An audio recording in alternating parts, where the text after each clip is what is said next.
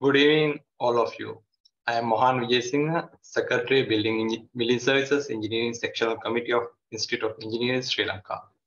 On behalf of Building Service Engineering Sectional Committee of IESL, you all are warmly welcome to our eighth webinar. As a Building, Building Services Engineering Sectional Committee, we organize this kind of technical webinars frequently to enhance your knowledge. Today, the topic is secondary medium voltage and low voltage distribution substations in buildings. Our main intention is to give some knowledge about medium voltage distribution systems in buildings, medium voltage protections, maintenance aspects, and the new trends in the medium voltage sector. For that, we have very dynamic engineer in the medium voltage industry. Engineer Indika holds a degree in electrical engineering from the University of Peradeniya. He has worked in the medium voltage and low voltage power distribution sector over 20 years. He is currently employed as a business unit head of Global Energy Management and Automation Organization. Without taking much time, I kindly invite Engineer Indika to start the presentation. During the presentation, you may post your questions to the moderator through the chat box. At the end of the presentation, moderator will raise the questions to the presenter. Thank you. Over to you, Indika Adhikari.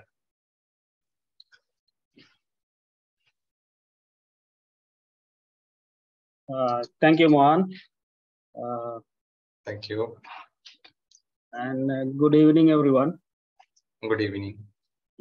Uh, initially, uh, I would like to, you know, uh, thanking uh, BSEC for giving me the opportunity to uh, discuss with you all uh, one of my, you know, uh, uh, favorite subject. So I will straight away going to the presentation. In fact, this is a little bit of vast subject, but I try my best to you know uh, cover the most of the valuable uh, uh, information uh, uh, for you. So I'll straight away go to the uh, presentation. Mohan, can I can I share the screen? Uh, Yes, you can share the screen. all right.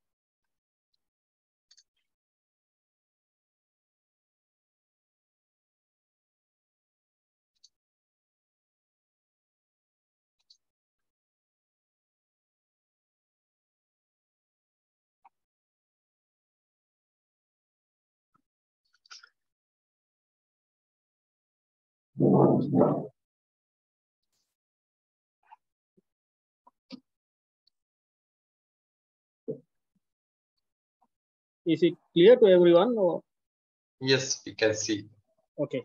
clearly. Today, uh, as uh, mentioned by uh, Mohan, uh, today we are planning to discuss about the uh, secondary distribution uh, system, secondary medium voltage and low voltage distribution system, uh, basically uh, uh, in a building.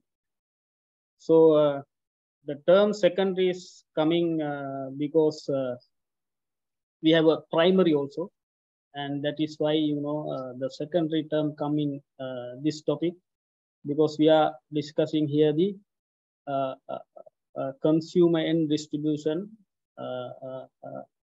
in a, inside the building. So uh, today's topic uh, will touch about uh, what is medium voltage and uh, technology and uh, key features of the uh, uh, medium voltage and distribution transformers, power system protections, and rest of the system like you know cable termination, why we require uh, surge arresters uh, in the in the installation, and uh, typical uh, MELV distribution system in a building. Then one of the important thing type test, routine test, and the what exactly required to test at the site. and some of the failure that we have, you know, encountered in medium voltage switchgear installation in terms of human safety, reliability, and the, you know, uh, uh, service continuity. And what is new? I mean, the, in the in the segment digital solution, what what is available for the MELV substation how we can you know optimize the uh, asset management activities and how we can optimize the uh, performance of the installation so we will uh, touch in the in the last slide of the presentation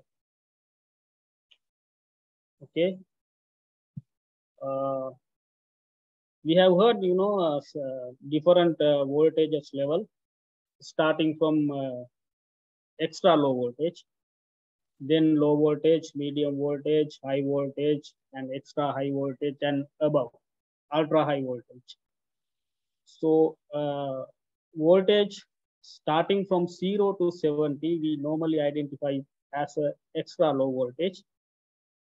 And from 70 up to 1 kV, we call it low voltage. And from 1 kV to uh, 52 kV, it is medium voltage in some uh, uh, uh, book says it is 69 kV, but IEC, it says 52 kV is the upper limit of the medium voltage. Above it is high voltage. In, in Sri Lanka, we, we, we have seen 220 kV uh, uh, uh, distribution, but we haven't, you know, heard about, you know, about distribution like, you know, 400 volt kV, 765 kV uh, in, in, in, in our country. But in some region, like, you know, India, we can find some of the, you know, extra high voltage distribution line in Africa, in uh, North America. So they are into this uh, uh transmission voltage level. And general applications, if you see extra low voltage is normally, you know, our, our our uh, control and monitoring basically. For an example, our CCTV system, public address, lighting controls, BMS, remote terminal units, those things are operate, operate on, on this voltage level. Low voltage, you all know, uh,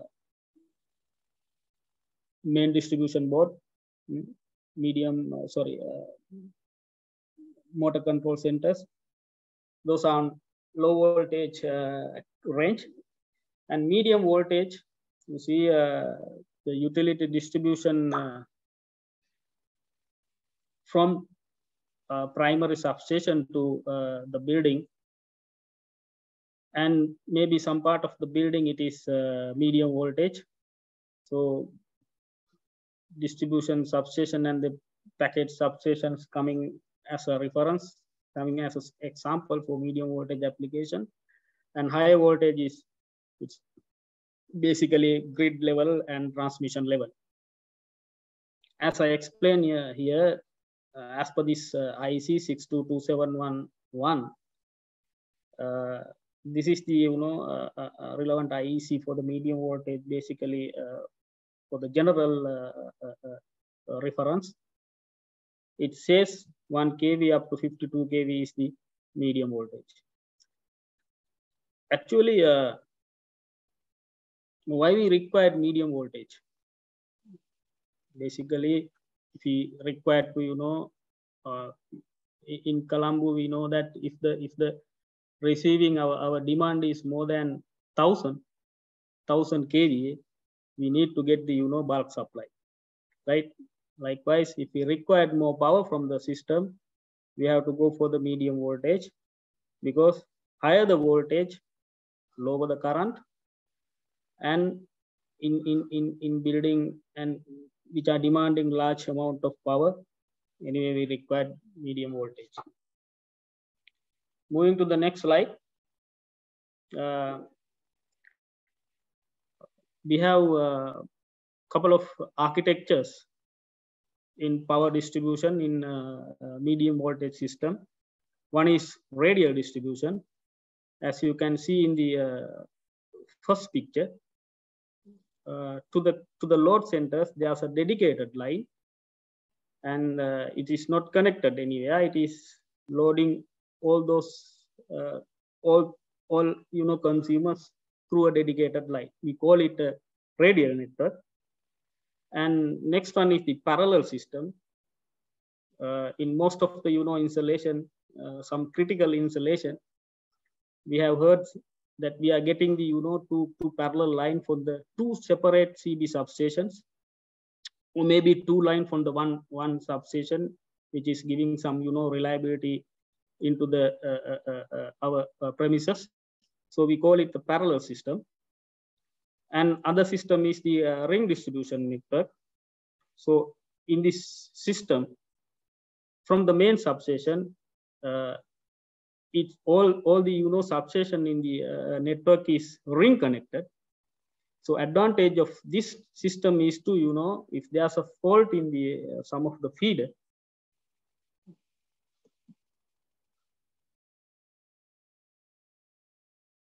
fault in the one of the feeder, the advantage of this distribution is we can feed the you know network through the this side. There are fault in the cable, still this distributor, still this load end is secured with the power. Just just to give you the insight about the you know you know there are different uh, uh, level of uh, uh distributions like you know from generating substation generating plant there's a step up station near to the plant right then it's the step up voltage could be you know higher voltage like mostly it is 132 kV. At the generating level it's mostly uh, uh, 10 10 kV or maybe higher than that 17.5 kV. And uh, this voltage is step up into the 220 kV or 132 kV uh, voltage level and it's transmitted and distributed up to the you know uh, transmitting uh, transmitting uh, grid substation. So all the grid is you know interconnected through the you know this transmission substation. From the transmission substation it's going to the you know distribution level. Uh, is step down in uh, distribution substation. And uh, from there from there there are you know bulk uh, consumers which they you know receive power power from the uh, distribution substation directly at uh, 33 kV or 11 kV voltage. Then there are you know residential customers. As you can see that in, in from the distribution substation, it, it coming, you know, feeders step down somewhere into the uh, 400 volt, volt and uh, distributed to the residential uh, consumers. This is the general, you know, uh, layout of the distribution arrangement, few uh, uh, architectures. And moving forward, and this is the will will will will move move to the you know switch gear switch gear part uh, we are we have experienced uh, two things in the you know medium voltage technology. One is uh, insulation media. Other one is the interrupting media. Uh, i'll tell you uh, what is insulating and what is uh, interrupting. In generally in the medium voltage system, there are three phases, RYB. And uh, insulation is here. Insulation is here. Between the bus bar. And the interrupter is, you know, it's it is there Same for the all three phases. Through the interrupter, the breaking function is happening. So inside the interrupter, there's another media. We call it interrupting media. And the between the bus bar for the insulation, we call it insulation media. We are we we see uh, few few medias for the insulation, like air, oil. Oil is quite old technology. Uh, mostly, I mean, in, in present scenario, we don't find oil oil insulation in some of the uh, uh, in, in switchgear, but it is widely available in uh, transformer. And gas as a, a, insulation media and solid as an insulation media. Uh, this is the you know present technology, POA, because the whole world is moving uh, towards the SFC, SF6 free uh, green premium products. So then uh, the SF6 technologies are now slowly moving with the air technologies with vacuum circuit breaking. So those are the insulation media in, in terms of in, interrupting media. We know air as a interrupting, mostly uh, not in indoor switchgear, but in, in, in, in uh, uh, low voltage application, it's air insulation breaker. And in the outdoor, mostly in uh, switch yard, outdoor switch yard, we, we sometimes see the, you know, air breaking uh, switches. And when it's come to the indoor switchgear technologies, it is mostly a vacuum or SF6. And uh, we may find air insulated switchgear with vacuum interrupter. We can find air insulated switchgear with the gas insulated interrupt. But nowadays, the world is moving uh, SF6 free. Now the the technologies, you know, we can expect in in in in couple of years, it will be totally a, a vacuum technology with uh, POA uh, technology for the medium voltage applications. Likewise, you know, even gas insulated switchgear we can find with uh, vacuum interrupter and the SF6 uh, gas interrupter. I think it's clear for you. I'm moving to the next slide. Uh,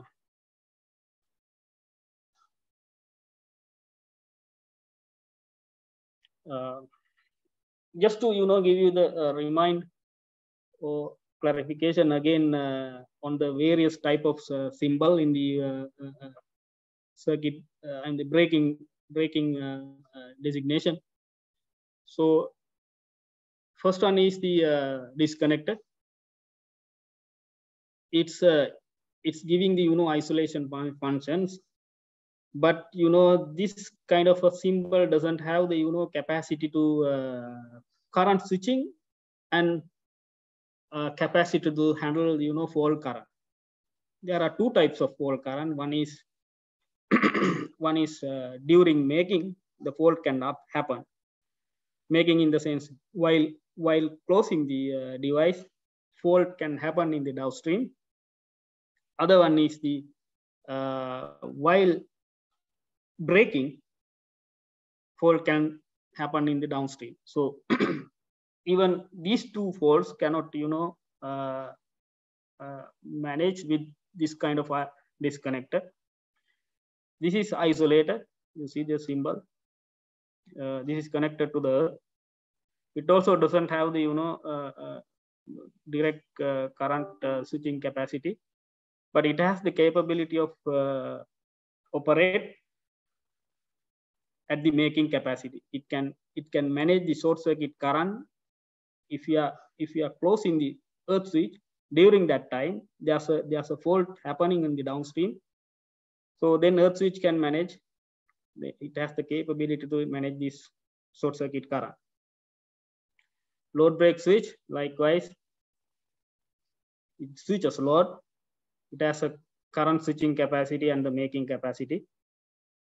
Likewise disconnector this different symbol uh, circuit breaker, it has the you know uh, total capacity of current switching and uh, load breaking and the fault making. Uh, this capacity it's a full capable device, circuit breakers, contactors. It has the current switching capacity. And this symbol uh, is for the withdrawable circuit breaker uh, this is for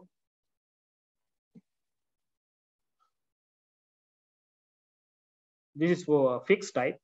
This is how it's shown in the uh, uh, diagram drawing for the withdrawable circuit breakers. This is the fuse symbol. Fuse doesn't have the isolation, but it's give the protections for the you know uh, one-time protection for the uh, uh, over over overload and the short circuit instant.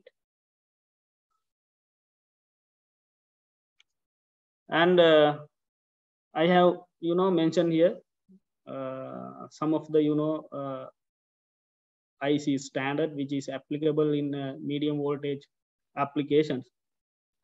So uh, switch gear because those things are really uh, required when we are you know in in in design designing and the selection uh, of medium voltage equipment and the component for the power system.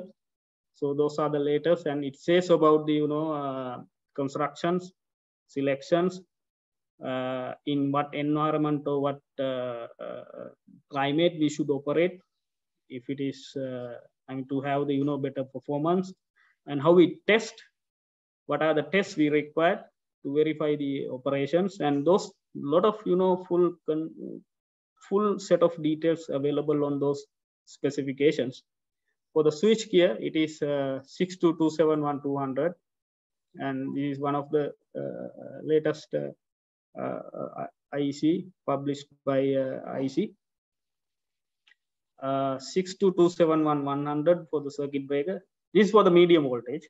This for the all up for the medium voltage. Disconnector it is 102. Contact it is 106. And this is the conventional uh, block type current transformers.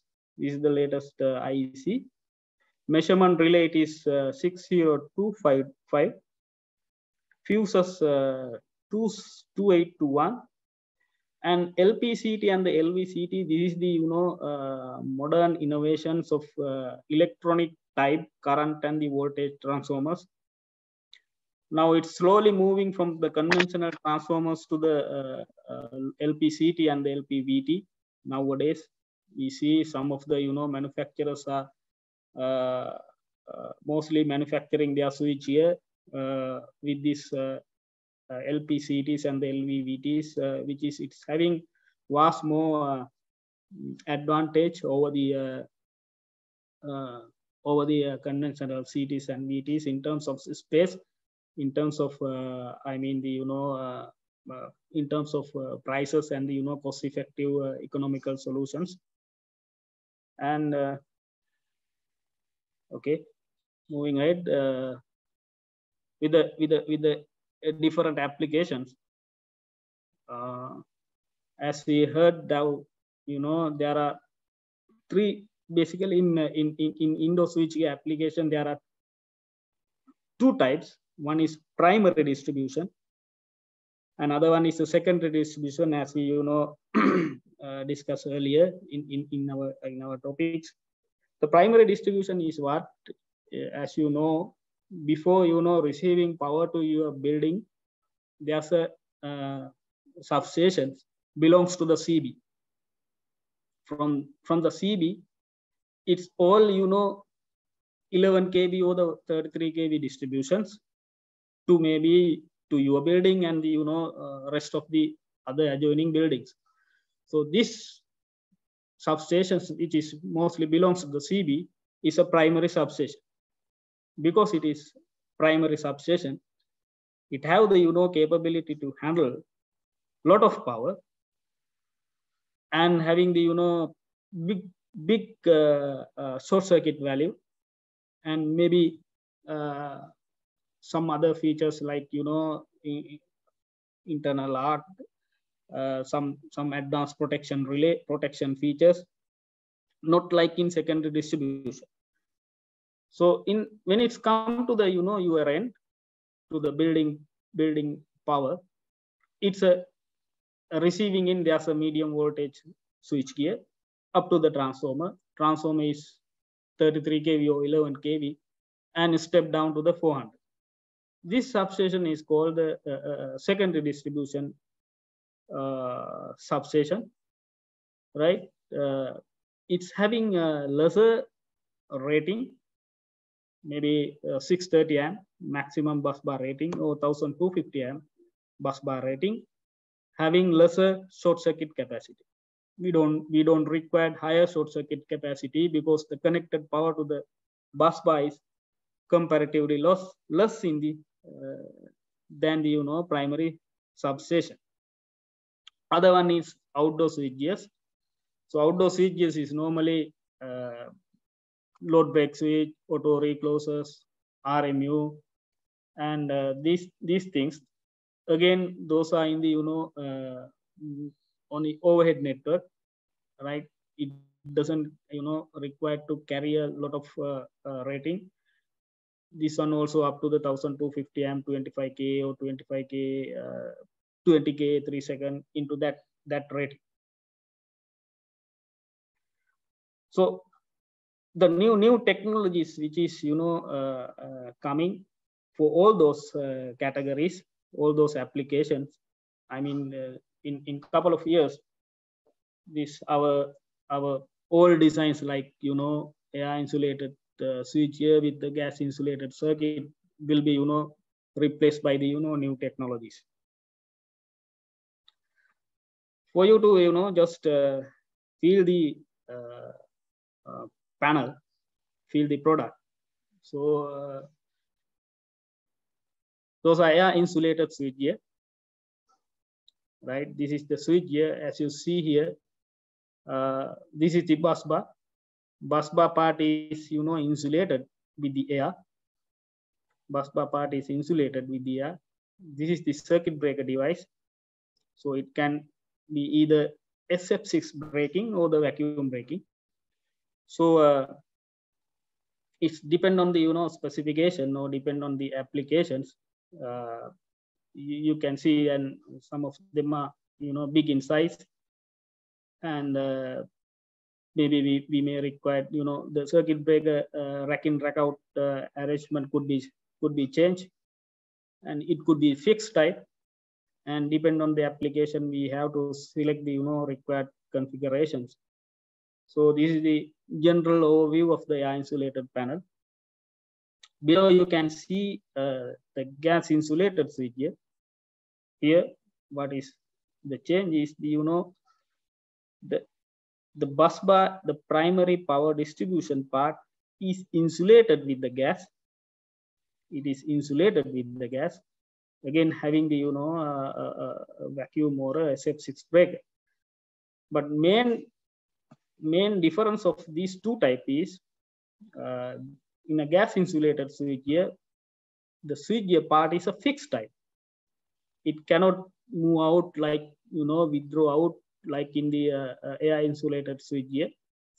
So then in air insulated switchgear, the, the isolation part will will be done through the racking and racking in and racking out operations right? But but for the gas insulated switch, there's a separate uh, isolator in between the bus bar and the circuit breaker to verify the isolation.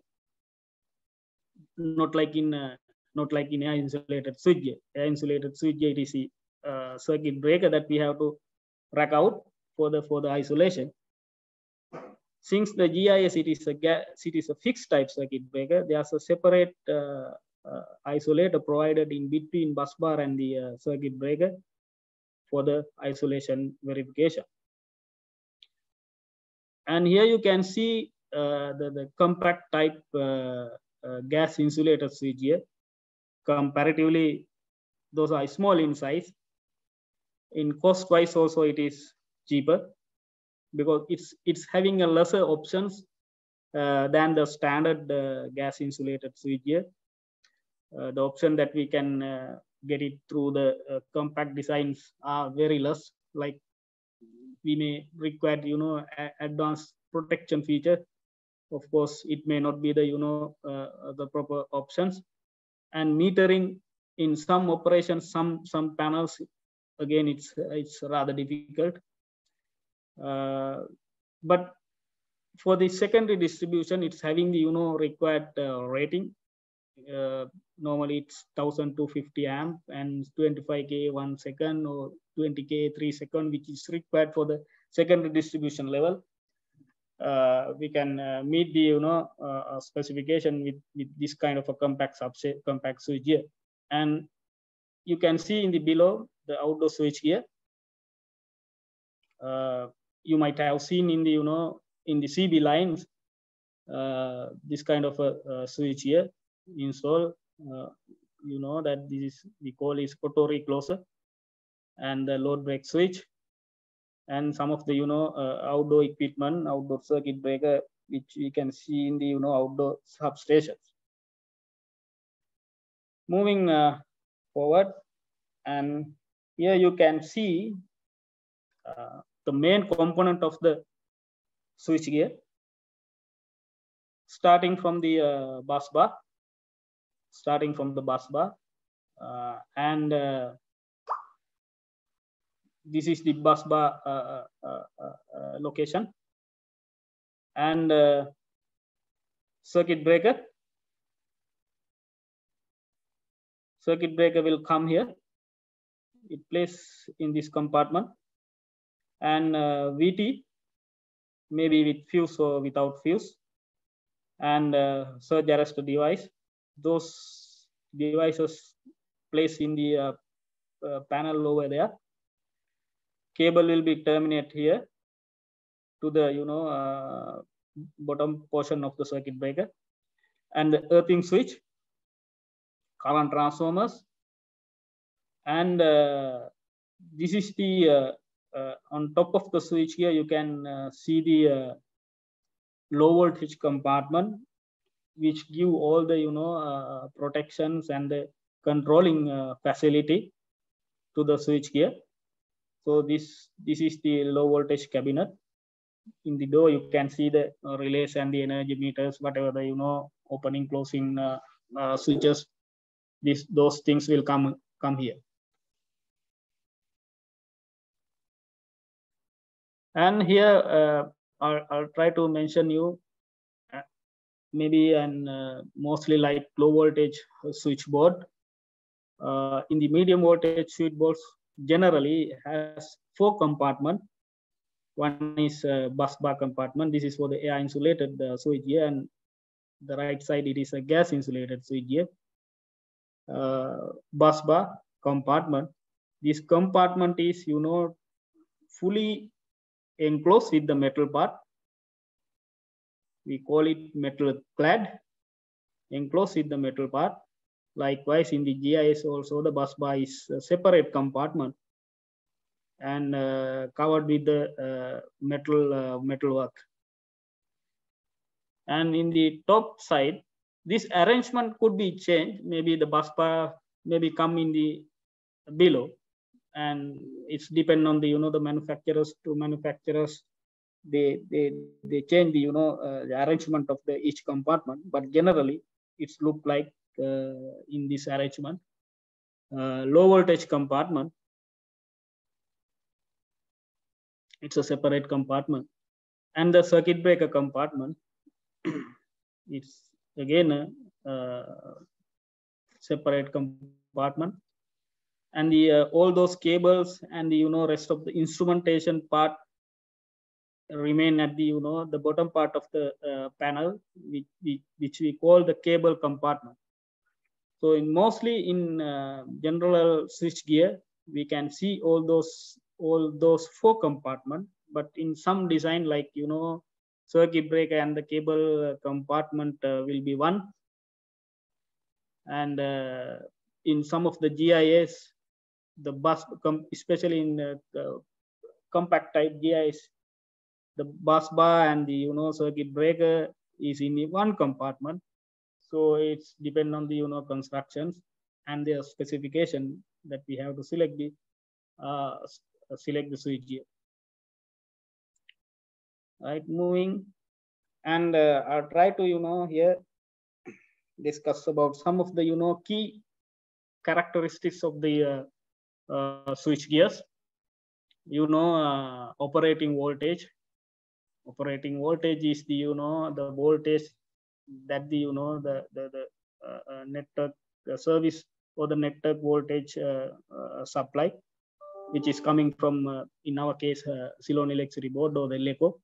This is the operating voltage. And uh, other term is the rated voltage. Rated voltage is the, the, the maximum RMS value of the voltage that the equipment can withstand under the normal operating conditions. So normally the rated voltage is higher than the uh, uh, operating voltage. It's for an example, uh, in our system it is 11 kV. Uh, we'll say 11 kV, but you know switchgear is rated to 12 kV. And the another two two terminologies are the uh, uh, power frequency withstand voltage and the we call it UD. Those term those and the uh, UP is the peak voltage. Power frequency withstand voltage is considered as the covering all event at the rather low frequency. Typically, I mean the uh, low frequency, it is uh, the equipment is operating at the 50 hertz. So this is we identified as a low frequency. Now the this is the UD uh, uh, is the uh, continuous uh, voltage uh, that you know panel is withstanding. Lightning impulse is the the peak voltage that the switchgear can withstand.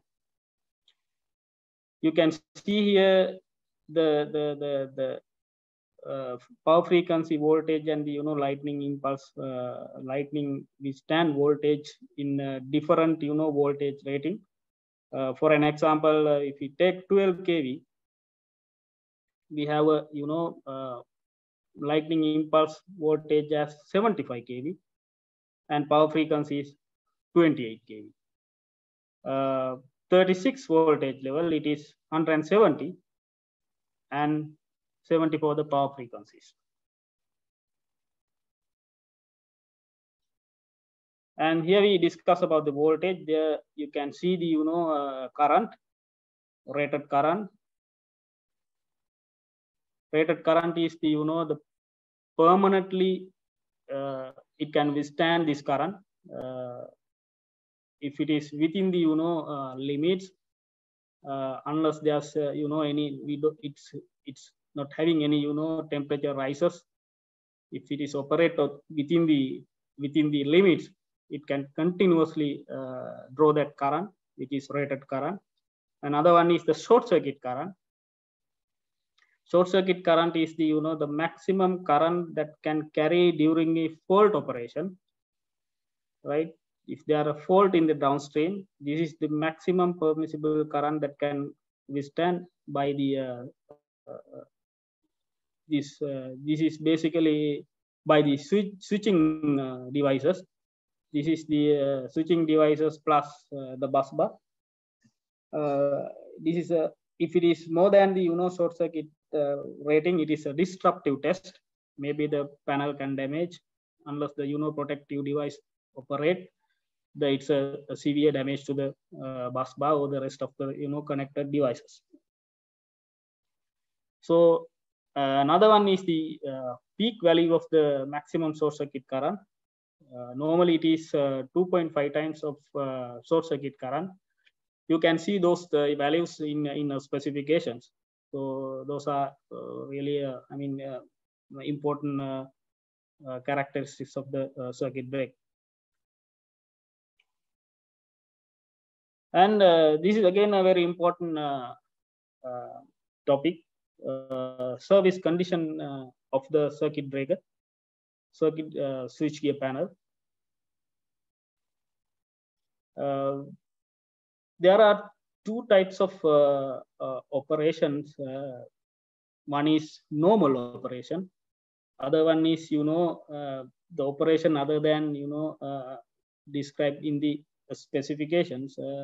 we call it, you know, due to some reason like uh, some harsh, temporarily harsh conditions, uh, can uh, operate uh, on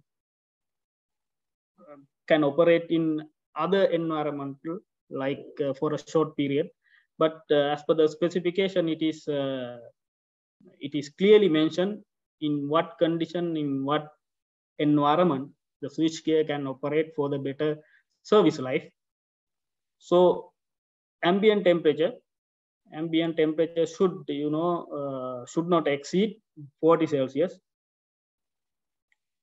Uh, and uh, the maximum, the average day average should be, you know, not exceeding 35 Celsius.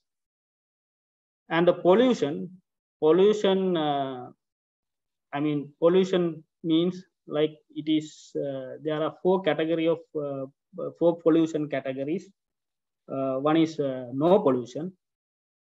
Other one is uh, no pollution means there's no any substance of, you know, conductive or materiality in the in the in the in the network in the environment and uh, category two is uh, having some conductive material due to you know uh, condensation of the uh, uh, uh, environment condensation there there there could be small conductive parts visible inside the network. And the other one is the you know harsh environment which is having a lot of you know uh, conductive parts uh, moisture condensation we can see on the you know part of the panel. And uh, salinity level is high. And there are a lot of you know corrosive vapor. And we we identify this as a, a harsh environment uh, pollution category 3 and category 4 is you know the very very high uh, polluted network. But for the switch gear, uh, it is allowed to operate under the you know uh, uh, category two, which is having you know uh, some uh, uh, conductive parts temporarily due to you know sudden temperature variation in the in the in the in the environment in the in the room. So humidity is another factor. So the panel has been designed to operate less than 95% of uh, humidity, relative humidity, and the you know vapor pressure should less than you know 2.2 kilopascal. So, but even this is we under identify it as a you know a normal operating condition due to you know some uh, temporary variations of temperature some condensation can occur on the uh, bus bar. So in that case, uh, what will happen, some insulation uh, breakdown. We have experienced some of the insulation breakdown due to, you know, uh, excess condensation on the bus bus or condensation on the insulators. And uh, some metal part can corrode, right? Uh, in, in So, and at the same time, the specifications, uh, this specification 62271 uh, specified, you know, how to, how we can, you know, mitigate the risk of, you know, failure or aging when there's a, you know, this kind of a, a, a temporary or condensation. Uh, and if we see some, you know, corrosion in the uh, metal part or some, you know, uh, some some sound sometimes we can hear from, from in, here inside the uh, panel. So, uh, and in this kind of a, a, a, scenario, this specification says how to prevent or how to mitigate the risk of uh, possible aging or the possible uh, breakdown, insulation breakdown of the panel. So mostly it described like, you know, we can go for uh, heaters inside the uh, compartment maybe uh, we can put some of the you know heaters we can normally it's come with the heaters in basically in uh, bus bar compartment and the uh, uh cable uh, compartment. So we can we can check whether these things are operating correctly or not. Otherwise we can you know uh, if it is condensation happening frequently we can add one one more heaters inside. Or we can you know introduce some of the better ventilation system with filters and something like that. Or we can you know HVAC uh, system can be introduced to the room to you know uh, control this kind of a uh, dust and the excess condensation uh, in the in the in the panel. Right? This is uh, some insight about the you know switch gear. Now we move to the uh, transformers. So what is the transformer in fact yeah transformer is a, a piece of uh, static equipment uh, having uh, two or more winding.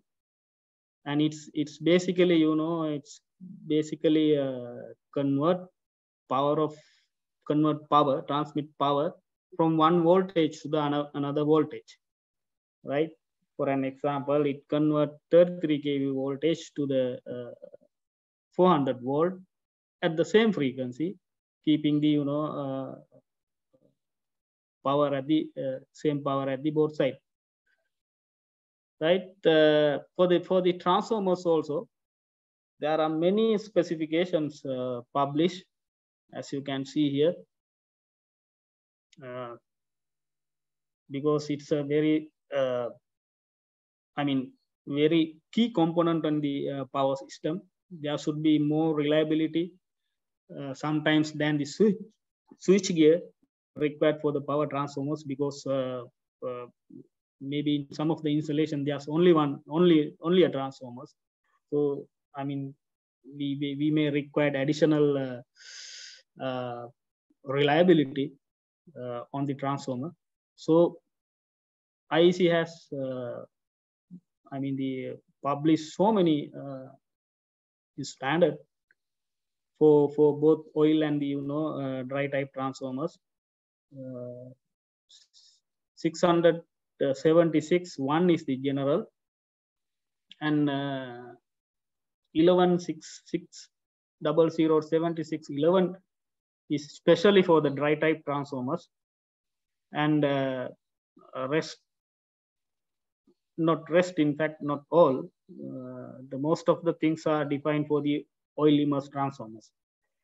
And uh, some of the special type transformers also, uh, transformers for the wind power applications and uh, self-protected liquid power transformers.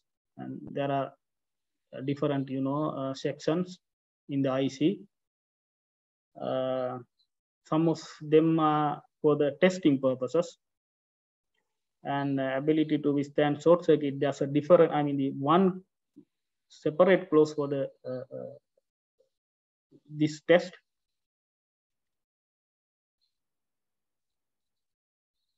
Right.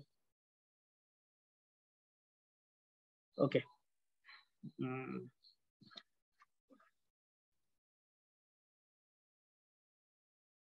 yeah here you can see uh, different type of transformers and uh, different ratings and it's depend on the power uh, we are we categorize into uh,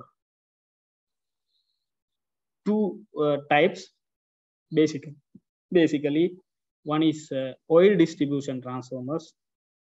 Is normally uh, starting from uh, small power to the you know up to 3.5 MVA it's having both indoor and outdoor distribution you can see in the you know uh, in the pictures uh, it's having sometimes it's having with the cable box having some uh, porcelain bushing and sometimes the plug-in type bushing. Uh, this is what we call the uh, uh, distribution transformers which may come in the you know distribution system maybe in the building mostly. And the medium power transformers, which is up to 100 MVA. Those are the big transformers having the, you know, big power, power handling capacities like uh, 31.5 MVA, 44, 45 MVA. It's mostly, you know, in the, you can see them in the uh, grid substation. And uh, the cast resin transformers, those are mostly come inside the, you know, uh, uh, buildings because it's having better advantage over the oil.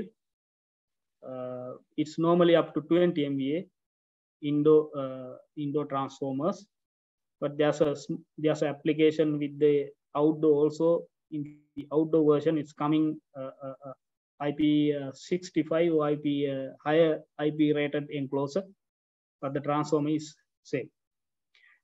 And you you may find you know special transformers like earthing transformer, reacting reactor transformer, isolation transformer, and sometimes you know the transformers coming in the uh, wind and the solar generation. I mean, the having some of the you know uh, uh, changes to the uh, standard transformers in terms of in terms of losses and you know the, the uh, efficiency uh, it's having you know higher higher ratings than the uh, normal transformers and like i said in the last slide you can see here uh, uh, some differences of the you know oil and the dry transformers. Uh, insulation media in the oil it is oil. in the dry, it is a cast resin, epoxy uh, cast resin material. Standard uh, uh, oil, it is starting with one, five, seven, and dry type, it is 76, 11. this is the one of the important point. winding temperature rise. For the oil, it is 60 or 65 for an example, if the, if the ambient is uh, 30, the maximal uh, uh, temperature that can reach up to uh, 90. And then uh, beyond that, it cannot operate. And but for the you know dry type, for the class F insulation, it can go up to you know uh, for the 30 ambient, it's it can go up to 135 it has the you know capability capability of rising the uh, uh, uh temperature by 100 uh, degree. In terms of weight, this is less weight. Uh, this is having the you know overloading capacity also with the but it is with the fans force air system. maintenance is high.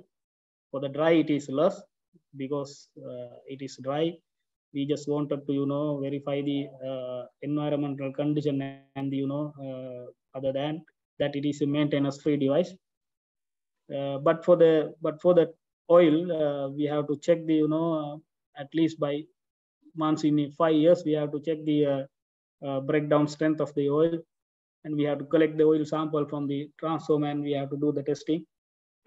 And there are other devices like you know the protective integrated protective devices. So we have to check the check it periodically the functionality of but for the dry transformer it is only the winding temperature. There's a you know uh, pt100 sensors in place inside the uh, uh, inside the uh, windings uh, it's only the you know temperature that it is uh, measuring.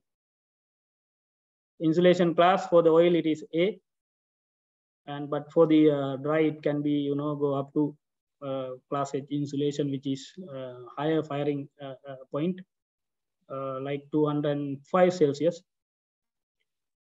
Yes. Due to this less fire risk it has you know recommended for the building applications.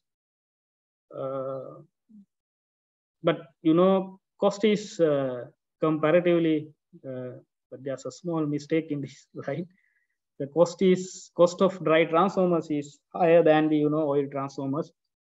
Uh, this is one of the uh, disadvantage uh, of uh, dry design. Uh, likewise many more advantage over the mm, oil transformers i would like to move for the transformer service condition, again, another uh, important uh, slide. So again, uh, for the transform also, the IC has uh, uh, described the normal uh, service condition for the, you know, better service life and the, you know, better performance of the transformer. So altitude, it should be less than uh, 1000 meters. And uh, temperature, again, uh, uh, uh, 40 Celsius should not exceed at any time. 30 Celsius monthly average. But 20 is the 20 Celsius is the, you know, design temperature of the to of the rated power and the harmonics, it cannot exceed uh, voltage harmonic, it cannot exceed above five. And uh, this is one of the uh, uh critical uh, factor for the transformers. And the current harmonic also, it should not exceed 5%. So if it is exceeding, uh, I mean, 5%, then we have to take some other measures like you know we have to uh, harmonic filtrations to be implemented uh, in this kind of a system. And uh, this is another uh, valuable point. When we are using the you know transformers in the uh, generator step up applications right? Sometimes we see uh, generator winding sometimes give some you know different voltage. For an example r gives 400 voltage. Sometimes uh, other other phases giving uh, 405 volt.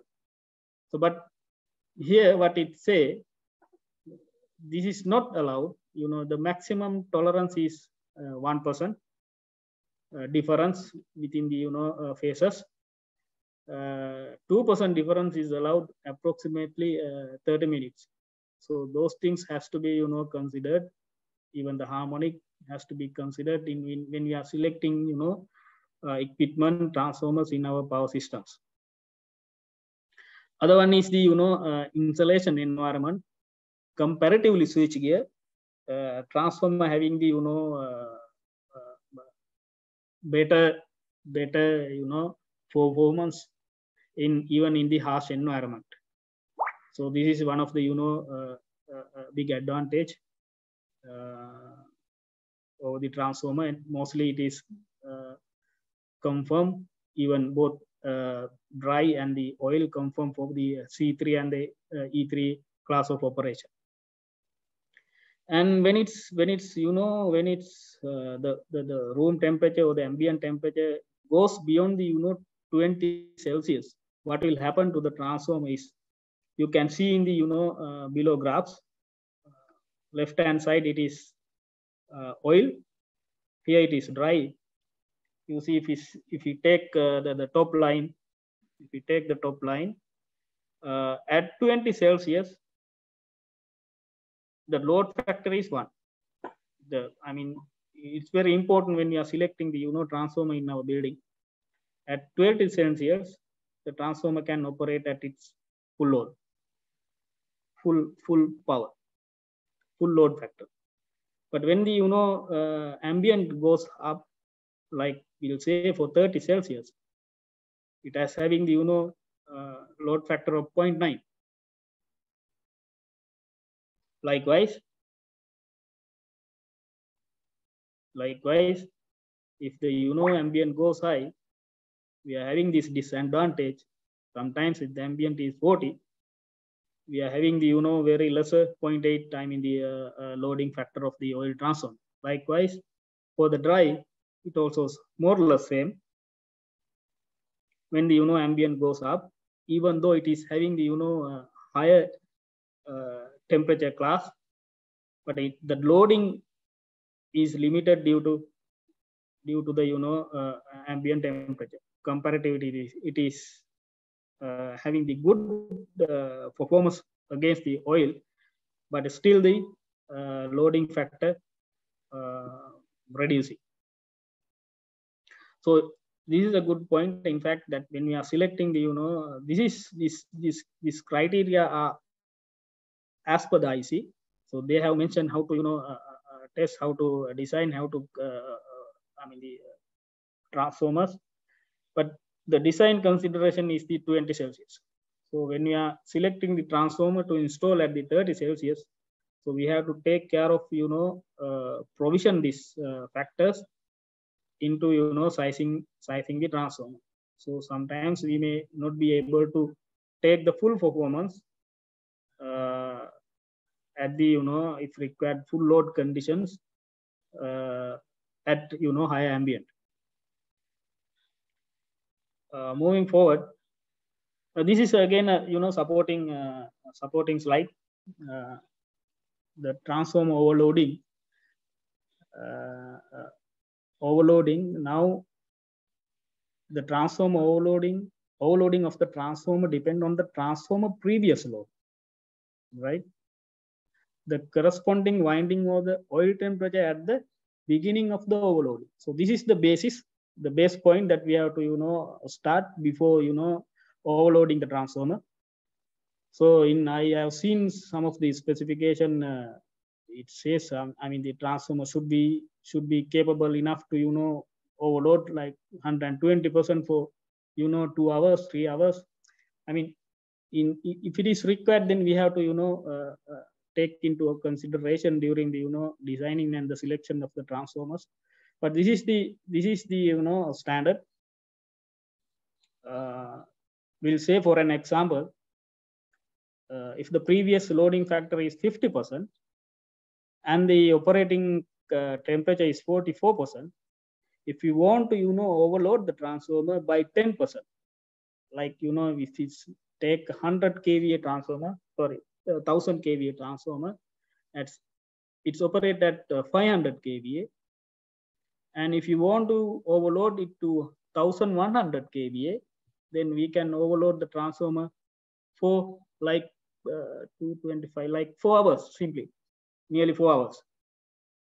So beyond that, it is not possible. So likewise, if it is loaded to 90% at 72 Celsius, the starting uh, temperature, oil temperature or winding temperature, so it can run, it can overload up to 10% for 55 minutes. So this is, has to be you know considered if there's an application of overloading of our transformer. And likewise for the dry, the dry here it has mentioned without the force it is the natural air. For natural air, the, the overloading is little bit of uh, limited compared to force air, force uh, loading. But for the natural air, this is similar similar scenario, but uh, comparatively, it's lesser performance uh, than the oil in non-force air system.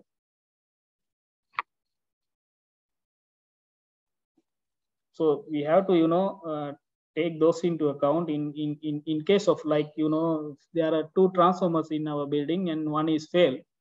Sometimes one has to be overloaded for certain period especially, I mean, it's directly impact on the lifetime of the transformer, then we have to take much more concern about these these factors, how much we can uh, overload for how how many how many minutes. This has to be you know clearly uh, clearly understand. Especially this could be a real scenario in the you know, in building applications. Right. Uh, next, uh, transformer paralleling again, it is, it is a common uh, topic, common discussion. Uh, in, in, in most of our uh, building uh, installation, there are two, two or three transformers, uh, sometimes working uh, parallelly or otherwise working independently. So in order to parallel, we have to ensure the, you know, same power, but with the tolerance of 10% is acceptable. Same rated voltage, HV and the, both HV and the LV but there's a 2% tolerance is provided. Same vector group, same short circuit uh, impedance, small tolerance, same load losses, rated uh, current at the principal tapping. So if it is satisfied, the transform operation is allowed. Sometimes it is not allowed, you know, uh, if the transform is higher than, you know, 20% of the uh, other transformer, it is not advisable to you know uh, have the uh, uh, parallel operation and paralleling a different concept like you know oil and dry is, is not recommended.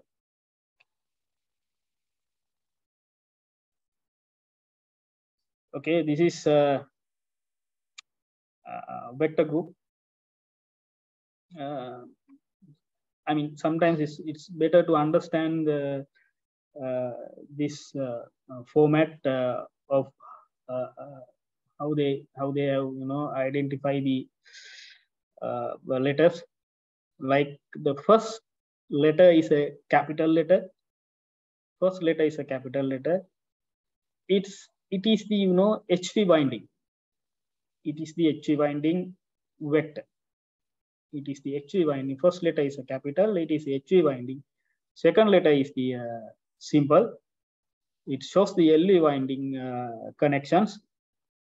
And if there's a neutral uh, in the Y, then it's mentioned in, again by the simple letters. And the, you know the, the uh, uh, uh, displacement from primary to secondary. Right. For an example, this I mean to be remembered. In fact, this first letter is capital, which is primary, secondary means LV, uh, and uh, neutral connections and the you know uh, displacement. So we can have the you know DYN 11 for step up transformers and step down transformers. So sometimes we may you know confuse with the step up step up transformers because uh, it also the you know vector group is written in this, this form because its first letter is capital it's in the you know HUIN. So it could be you know DYN 11 step up, DYN 11 step down. So some of the example here, it's having the you know uh, same winding in the primary and the uh, uh sorry HV and the LV winding, no displacement uh, between two winding. So we call it Y Y zero. Likewise, there are so, so many, you know, we, we may find so many uh, vector groups uh, in, in, in different applications. So YD11, this displacement is, you know, uh, 11, 11 in the sense it's clockwise 1, 2, 3, 4, 5, 6, 7, 8, 9, 10, 11, likewise. So if, if there's a Earth in the neutral, then YND11. Likewise. I think uh, I hope it's clear to you. And moving ahead uh, to the another topic, the power system protections, right? Uh, power system uh, protections. So objective of the power system protection is to is to what? to isolate the you know uh, faulty sections of the electrical power system from the rest of the you know live live parts i, I mean so it's isolate the faulty part and uh, keep the rest of the part as energized without any damage to the you know uh, rest of the network this is the simple uh, arrangement of the uh, uh, uh, protection and the protection system.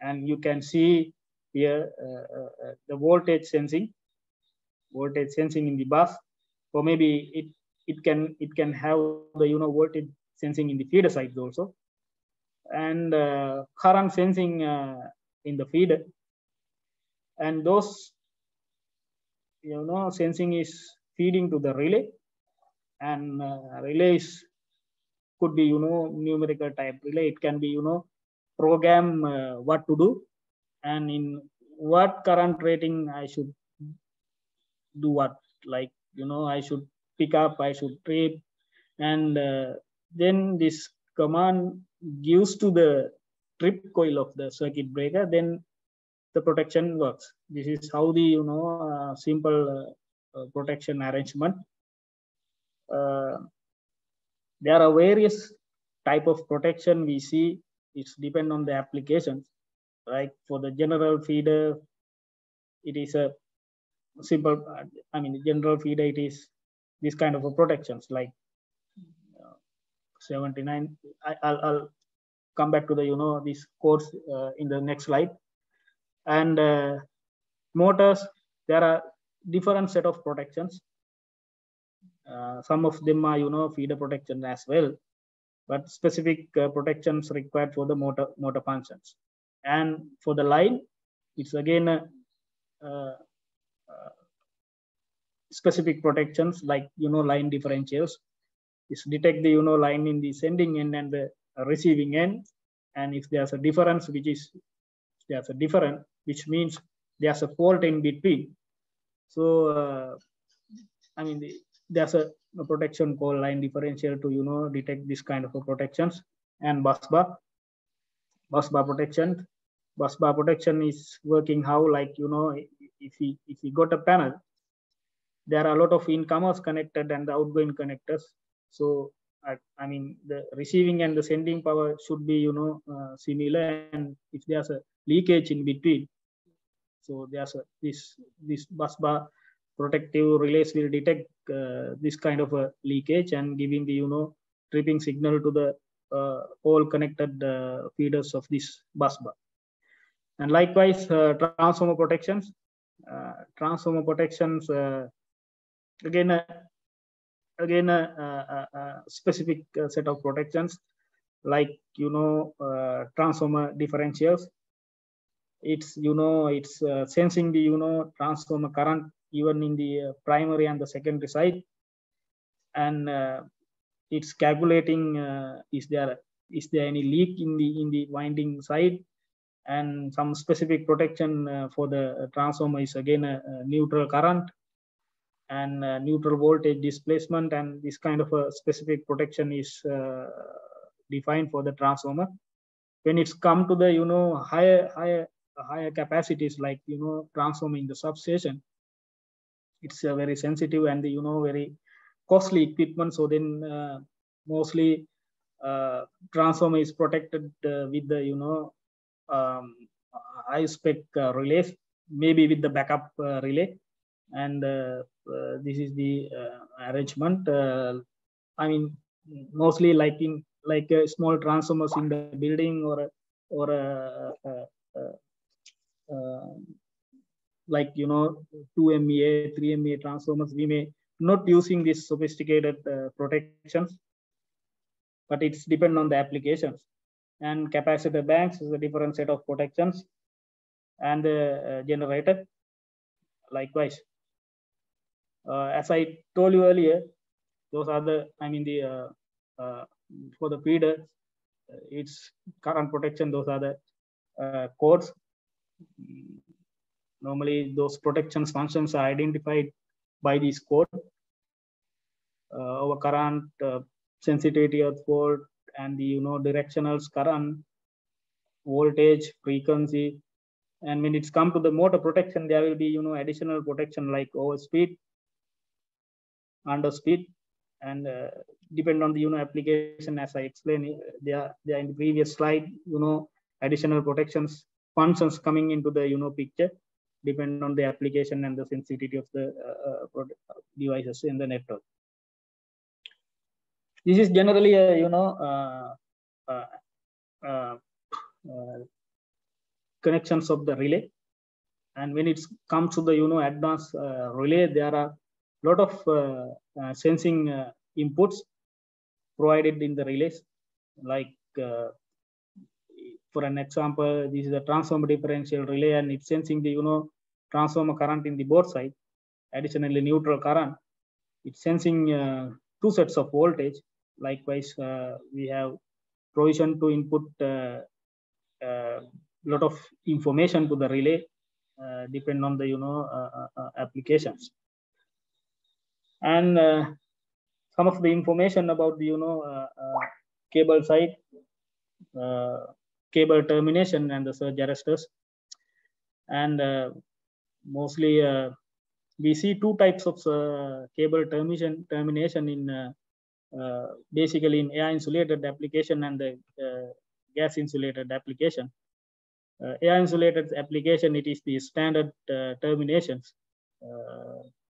We just terminate the cable and connect here through the lug and if it is if there's a surge arresters again a surge arrestor can easily you know uh, connect here but uh, in in gis application it is uh, bit you know uh, ready-made solutions coming like it's a we call it plugin type. Plugin type connectors couple of depend on the number of cables and surge will be connected to the uh, this terminal. Uh, this is a typical uh, layout of the uh, uh, building power system. You can see here the medium voltage switchgear and the transformers. Mostly inside the uh, uh, building it is a dry. Uh, the oil is replaced with the dry and the right side it is the low voltage distribution. The typical layout of the equipment likewise the here it is mentioned the cables coming from CEB uh, to the substation room uh, and going to the medium voltage panel and power up the transformer and low voltage distribution. And this is the typical uh, arrangement.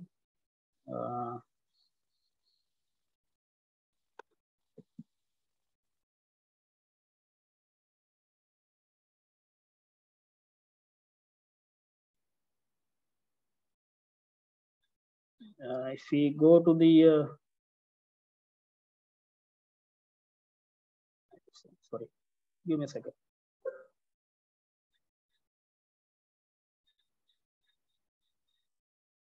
Yeah. I just wanted to show you some you know typical uh, SLD power flow diagram of the uh, building. Uh, this is the you know receiving substation which is belongs to the CEB Uh, from there it's coming the line to the other distribution panel right?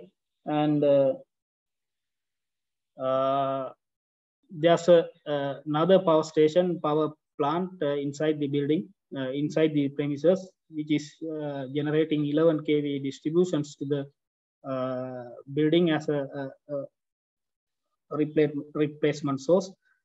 So from there it, it could be identified as a primary uh, substation because uh, this one is a primary substation. And then from here the uh, rest of the you know building is powered through the transformers. This is the you know simple arrangement and uh, low voltage distribution. Likewise uh, i think those things are very much familiar to you so i am moving uh, to the presentation again.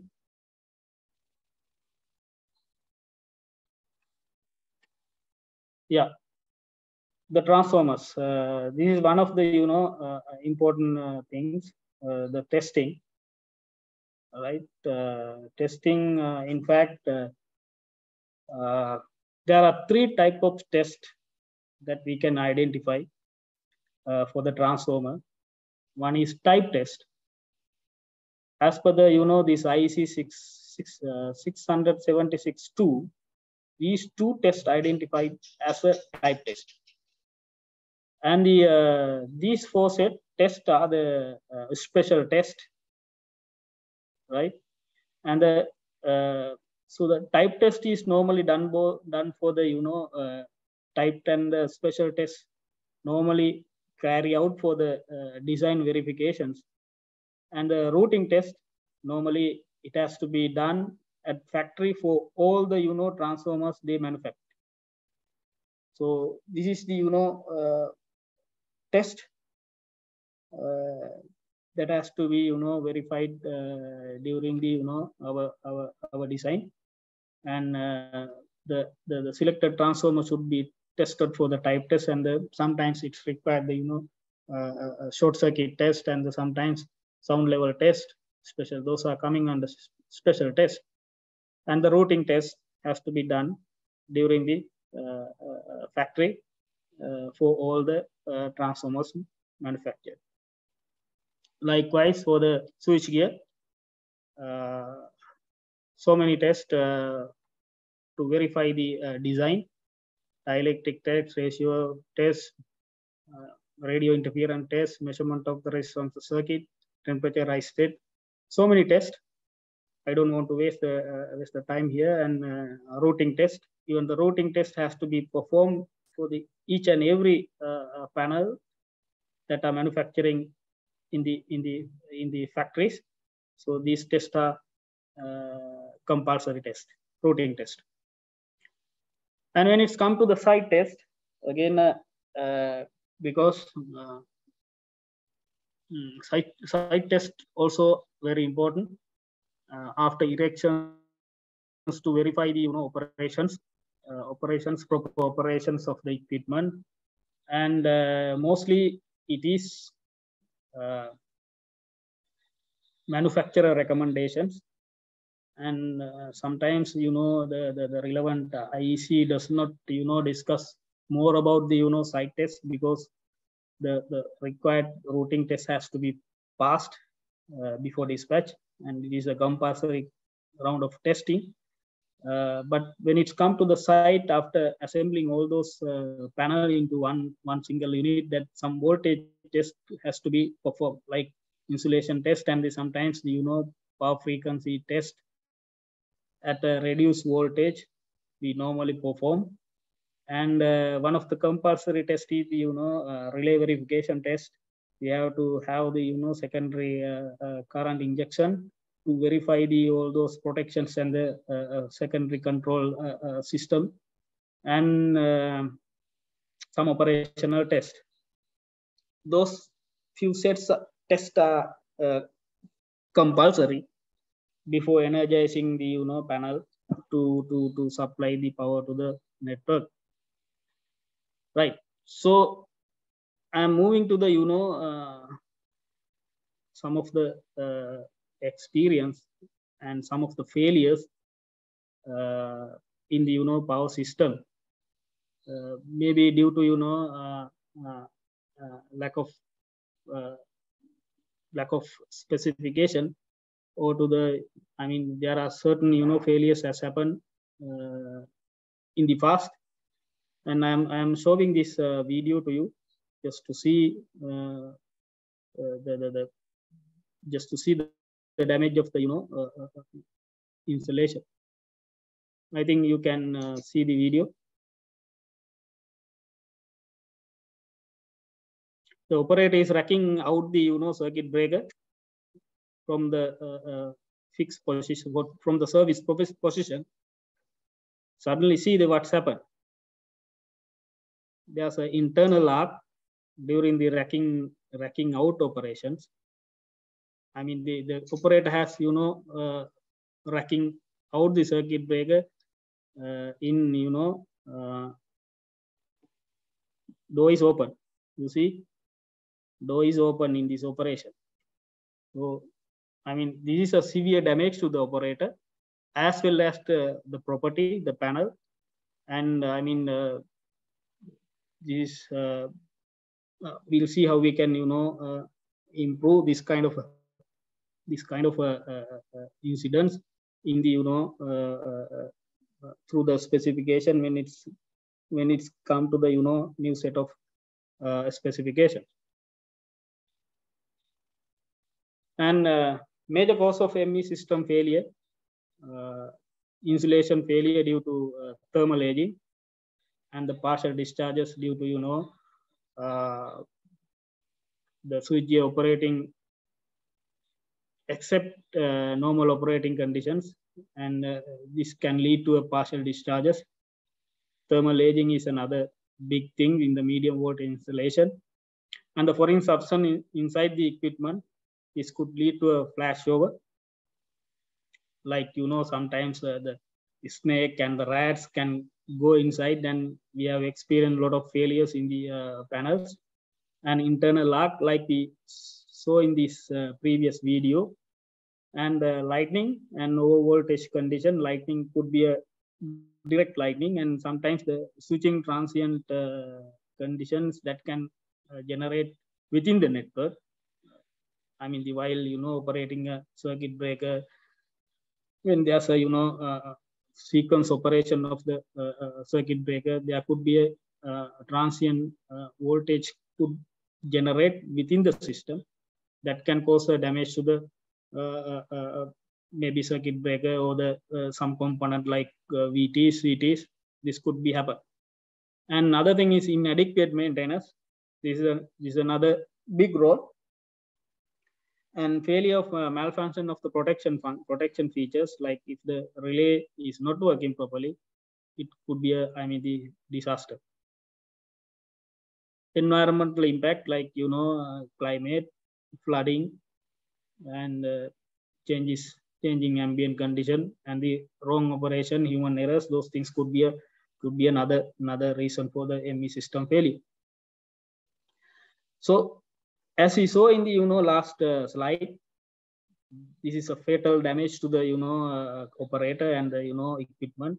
So in 2003 uh, IEC has you know published a new uh, standard to overcome this kind of a, uh, situations over the you know experience that they have gained in the in the past operations so they have introduced new classifications like internal arc, loss of service continuity, and the partial uh, partitioning classifications uh, into the uh, into the world. And with that, and the, I mean, the, the system uh, become more uh, better, better solutions, and uh, values gained through the experience, and benefited to the best thing is benefited to the customer. So we'll see what are those uh, classifications. So internal arc protected from the internal arc. So as we saw that in this uh, video, the operator has, you know, uh, operating the uh, uh, switchgear by opening the front door. Now, what has developed, what has developed in the in the in the in the uh, guideline as given by the IEC and the you know manufacturers has developed their switchgear to comply to all those you know guidelines. So if there are internal arc, you can see here internal arc. Sorry, there could be an internal arc when the when when anything can be happen due to insulation failure or racking rack out of operations or whatever the lightning surges, anything can be happen. What will happen if there are internal arc? Now they have defined the you know switchgear that if there are internal arc, all those you know arc pressure and the you know arc cannot come out, cannot come out to you know uh, from the you know front and the lateral and the rear side. There's a you know uh, uh it is clearly defined so it has to go up or it has to go into the, you know, uh, uh, cable chamber. So this is the, you know, uh, very important, you know, classification developed by IC. So the classification comes like that. A means the authorized person, B means public, F means front, L means lateral and the rear. So it's come like, you know, uh, uh, AFLR. AFLR means authorized personnel only, and it is protected for front, lateral, and the rear operation. So if it is a AFLR panel, if during the you know uh, internal arc, if someone you know sitting in front of the panel or in the lateral side or the rear side, nothing will happen to him.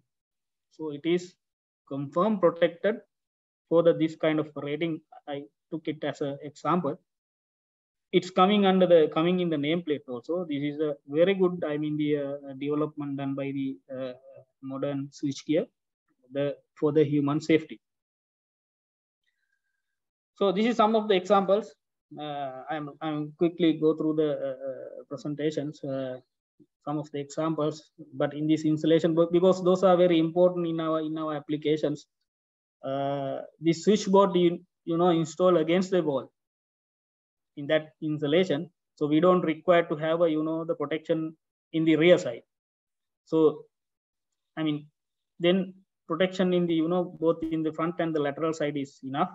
And, but in these applications, the switch has been installed in in middle of the room, which is required the you know protection in the rear side.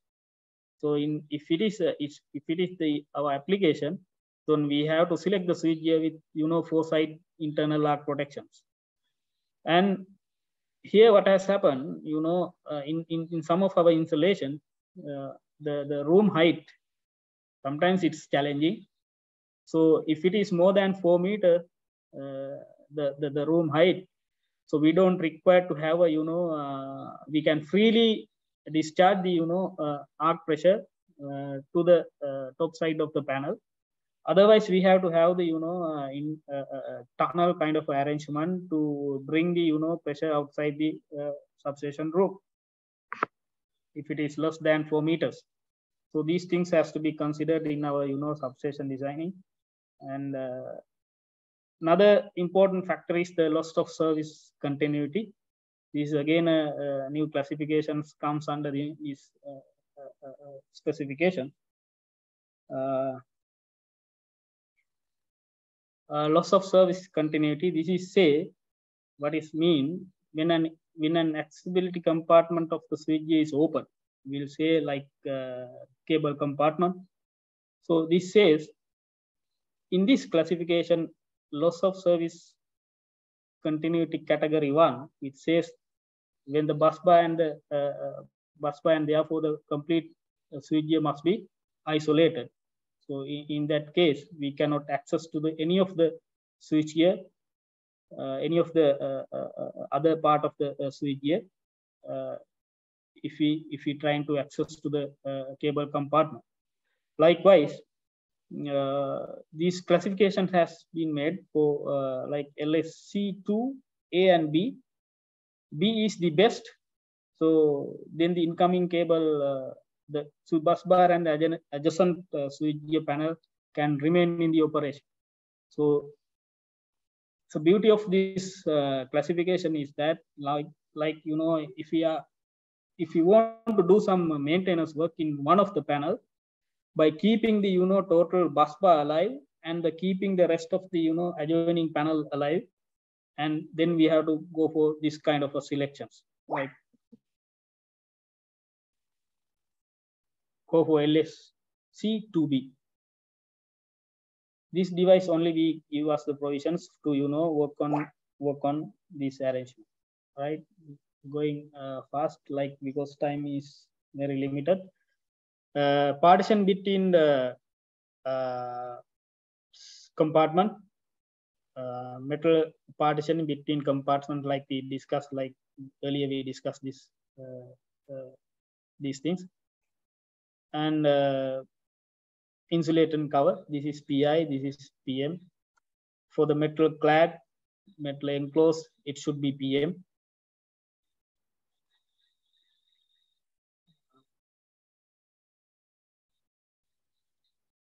so okay. Now i mean we have we have come to the you know uh, uh, final uh, part of the presentation. So uh, nowadays we are discussing uh, all those you know switch gear to be you know to be connected uh, and i mean monitored and controlled.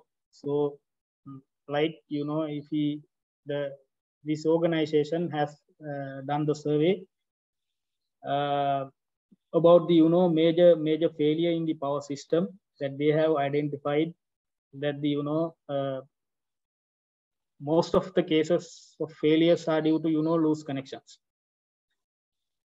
and the you know insulation breakdown and some of the you know condensation on the uh, uh, panel inside water penetrated to the various origins and the uh, racking uh, issues and the ground fault uh, issues.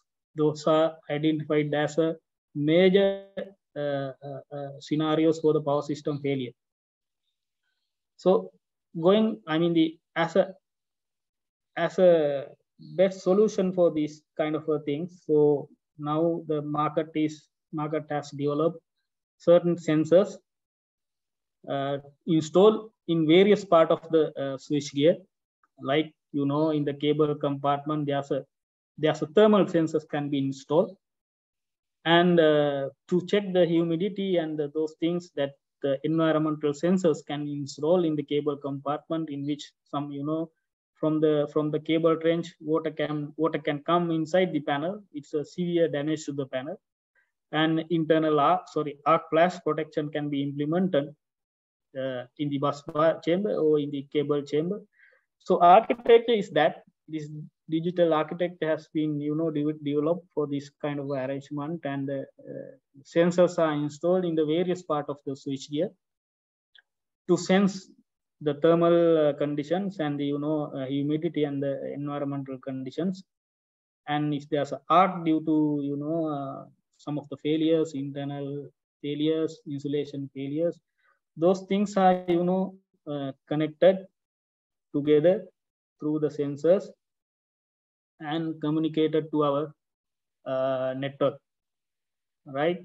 It's not you know communicating information to the uh, network uh, but it gives you know total uh, uh, status report uh, what is the you know temperature what is the maintenance status and give a lot of information to the facility owner to plan their uh, work, the preventive maintenance activities, and uh, and you know it's uh, much better comprehensive uh, uh, uh, awareness of their system. I mean, you know, this is the new technologies coming to the market in terms of you know proper maintenance of the equipment. I think uh, we are uh, ending the uh, presentations. Uh, maybe uh, I am passing the uh, time. over to you, uh, Mohan. Thank you, Engineer Adhikari. Good evening. Can you hear me properly? Yeah, yeah, we can. Okay, thank you. I'm Mahesh Udyanga from Building Service Engineering Sectional Committee. Uh, so now we are going to start a Q&A session. Uh, so I will direct all the questions which you have posted in the chat box one by one. Uh, based on the time available, I will not mention names of the question raised gentlemen. So Engineer Adhikari, let me present the questions. So our first question is, what are the main concerns, issues while integrating distribution generation at MV level? Is the bidirectional power flow a major concern? Okay. Uh, uh, bidirectional power, I mean, when we are when, when we are getting the power from the CEB, I mean, unless we don't have the you know generation within our within our premises, there won't be a you know back backflow to the you know utilities. But nowadays uh, there are you know instant that we have seen like you know in in soft transitions of power when there's a you know power failure your genset comes to the system and you know uh, uh, when the utility returns it parallel with the genset.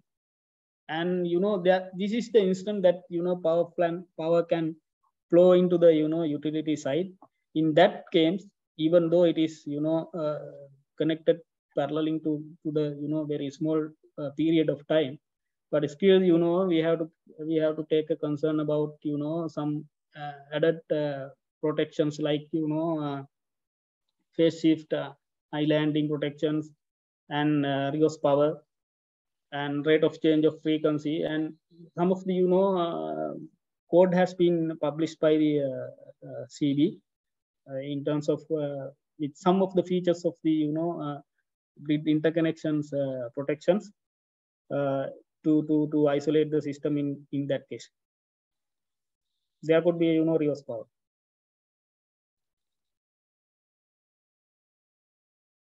Okay, thank you. Uh, next one, as the amount of power consumed increases, which one is more suitable, MV or LV?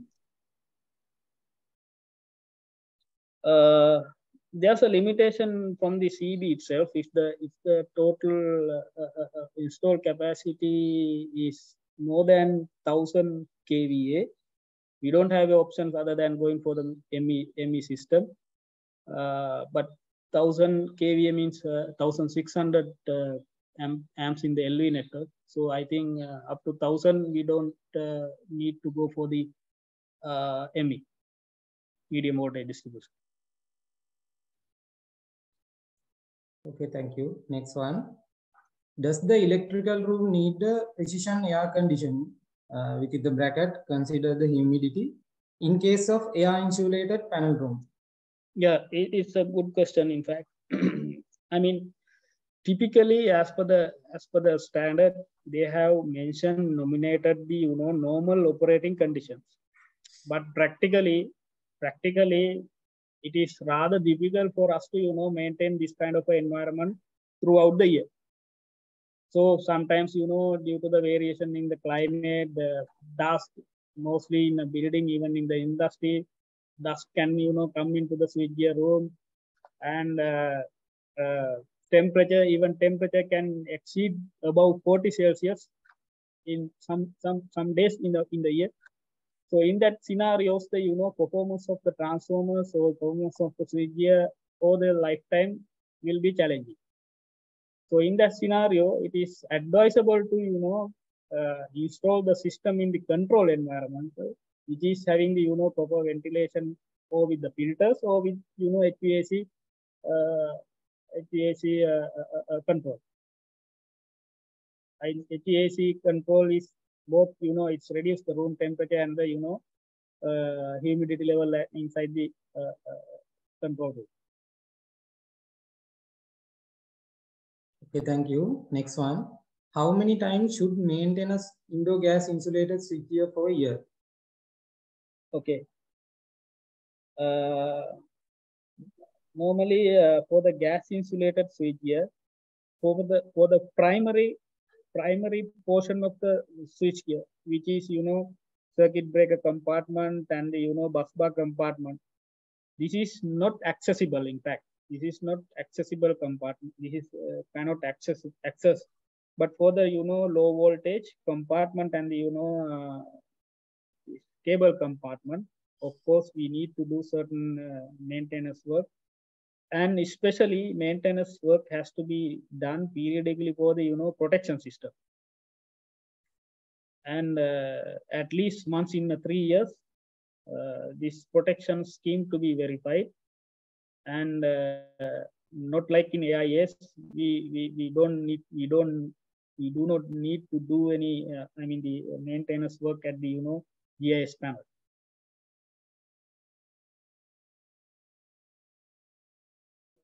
Okay, thank you. Next one. What are the challenges faced during MV and LV power distribution?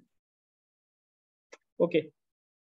Uh, main challenge is, you know, uh, medium voltage is the challenge again because it's having uh, higher stress of voltage so i mean the insulation is much more critical uh, in this kind of uh, application we know that uh, sometimes the low voltage is less stress it is 400 volt but for the uh, uh, we can insulate the 400 volt even with you know simple simple tape but medium voltage the the XLPE, the you know uh, uh, latest uh, insulation.